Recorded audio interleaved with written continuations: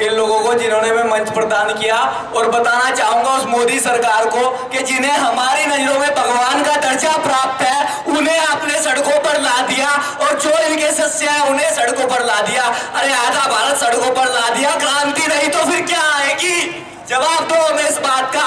आप लोग सड़कों पर हैं और पहले तो जो बच्चे इन्होंने पढ़ा दिए हैं जाइए और यूपीएससी की तैयारी कीजिए।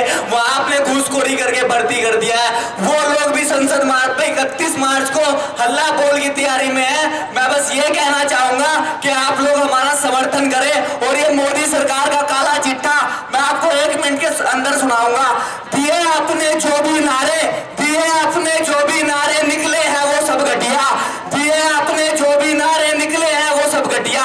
कहते हो तुम नमामि गंगे नदिया, मैली पड़ी है सब नदिया। अरे दिया था हमने साथ आपका कर देते कुछ तो बढ़िया।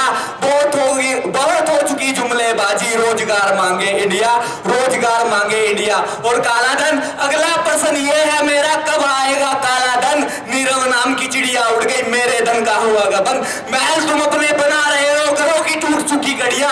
बहुत हो चुकी जुमलेबाजी, रोज़गार मांगे इंडिया।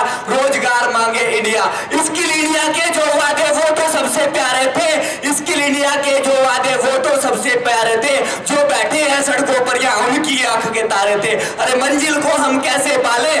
मंजिल को हम कैसे पाले? बिखरी पड़ी है सभी सीढ़ियाँ। बहुत हो चुकी जुमलेबाजी, रोज़गार मांगे इंडिया। और अंत में आपका एक मैसेज है, लोकतंत्र से चुना था आपको लोकतंत्र में ताकत है। लोकतंत्र से चुना आपको लोकतंत्र में ताकत है। जो जो वादे किए वही आपकी आफत है, वही आपकी आफत है। निकले हैं, हम ऐसा करने सुधर जाएँगी सभी पीढ़िया। बहुत हो चुकी जुमलेबाजी, रोज़गार मांगे इंडिया। धन्यवाद। और आज जोड़ के हमारा निवेदन है कि इकतीस मार्च को इसी जगह पे हमारा समर्थन करने के लिए पहुँचे। धन्यवाद।